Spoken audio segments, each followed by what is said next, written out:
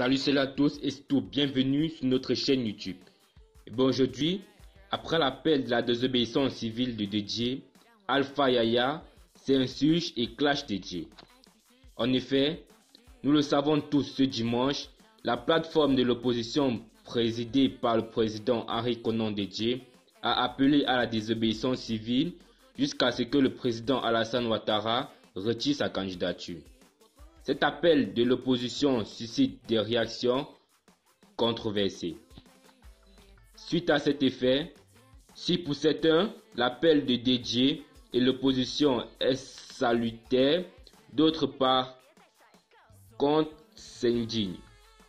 Et parmi ces derniers figure l'honorable Touré Alpha Yaya, qui ne manque pas d'ailleurs de lancer des pics au candidat octogénaire Henri Conan DJ. Pour plus d'informations, n'oubliez pas de vous abonner ou de cliquer sur la cloche notification pour être informé dès que nous aurions désormais mis une nouvelle vidéo en ligne concernant cette affaire. J'espère donc que vous allez kiffer. A plus et bon visionnement.